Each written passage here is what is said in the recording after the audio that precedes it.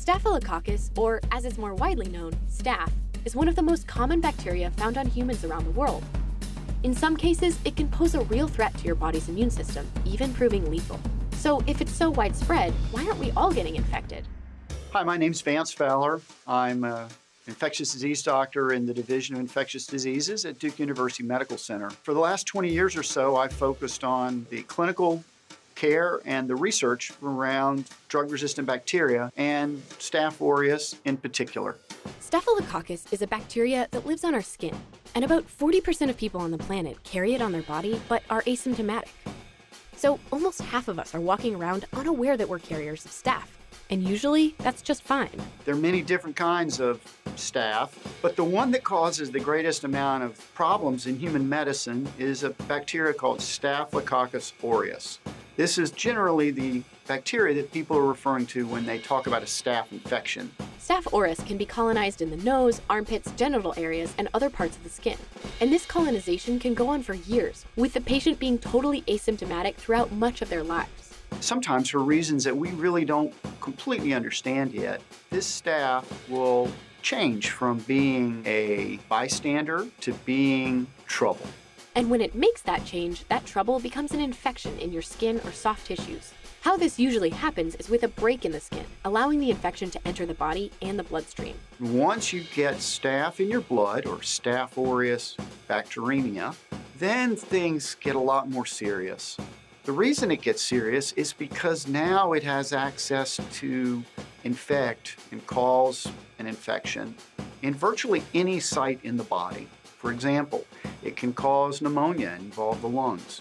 It can cause infections in your bone called osteomyelitis. It can cause joint infections, cause arthritis. And it can cause infections in your heart, cause endocarditis.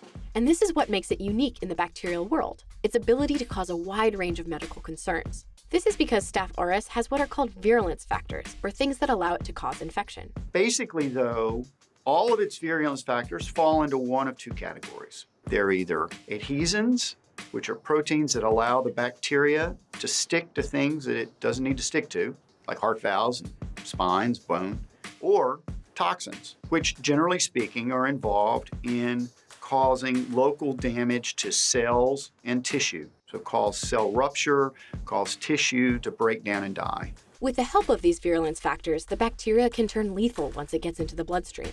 So wow, I know that sounds scary, uh, well, and it, and it is pretty serious. How do you know you have a staph infection? The key thing about a staph infection is you're going to have symptoms in the site that's involved. Because staph mostly impacts the soft tissue, infections can look like a boil or abscess that's red, hot, swollen, or seeping. Fortunately, these can mostly be treated with antibiotics. Now, some of the other forms of infection may be a little more subtle, and they may require diagnosis in the hospital or in the emergency room. If you get staph in your bloodstream, really the hallmark finding is fever and chills. There's another type of staph that is even more alarming MRSA, or methicillin resistant Staphylococcus aureus. It's a concern not just because of its resistance to antibiotics, but also because it's showing signs of spreading into new territory. The epidemiology of MRSA has, has also changed over the years. Traditionally, it was associated almost exclusively with patients who had been in the hospital or who had ongoing contact with the medical system. For example, long-term care facilities, hemodialysis patients, things like that. But about 15 years ago, something happened. People with absolutely no contact with the healthcare system began to develop boils and abscesses due to a MRSA infection.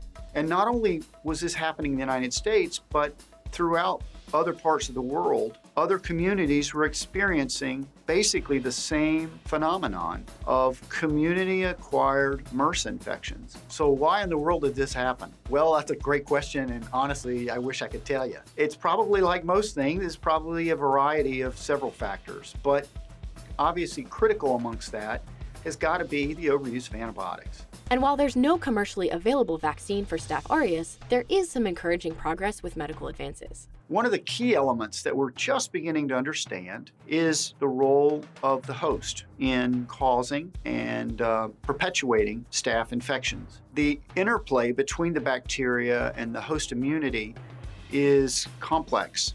Ultimately, because Staph aureus is so common, there are three main takeaways. These are prevention, washing your hands at home and in medical environments, recognizing the symptoms early boils, abscesses, and anything red or swollen, and seeing your healthcare provider as soon as you see signs or feel ill. We understand now that there are things that we can do to help patients in the hospital have a dramatically lower rate of developing a staph infection. So, for example, daily chlorhexidine baths when they're in the intensive care units. While there have been uh, setbacks in terms of new epidemiology, new outbreaks, the opioid crisis, uh, there's a lot of reason to, to have some a good deal of optimism as well in terms of new drugs and better understanding.